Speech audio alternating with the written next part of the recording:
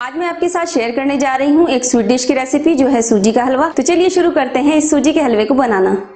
सूजी का हलवा बनाने के लिए यहाँ मैंने लिया है आधा कप सूजी, आधा cup sugar one four cup घी, थोड़ा सा इलायची पाउडर, थोड़े से कटे हुए बादाम और डेढ़ कप यहाँ मैं यूज़ कर रही हूँ पानी का हलवा बनाने के लिए। तो यहाँ मैंने पहले ही कढ़ाई को गर्म होने के लिए रखा हुआ था, अब इसमें हम डालेंगे सूजी और इसको भूनेंगे।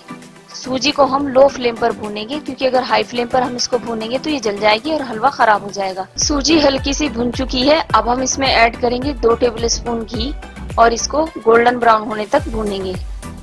तो देखिए, यहाँ सूजी भुन चुकी है और ये हल्की सी गोल्डन ब्राउन हो चुकी है। अब हम इसको प्लेट में निकाल लेंगे। यहाँ मैंने सूजी को भूनकर प्लेट में निकाल लिया है। अब उसी कढ़ाई में हम पानी ऐड करेंगे। तो यहाँ मैं इसमें पानी ऐड कर रही हूँ। अब इसमें डालेंगे चीनी और इसको जब तक ये मेल्ट ना हो जाए, तब तक हम इसको पकाएँगे। चीनी पानी में पूरी तरह से घुल चुकी है। अब हम इसमें ऐड करेंगे इलायची पाउडर, कटे हुए बादाम। थोड़े से मैं अभी यूज़ कर रही हूँ, थोड़े से हम गार्निश के टाइम यूज़ करेंगे। फिर डालेंगे हम इसमें घी।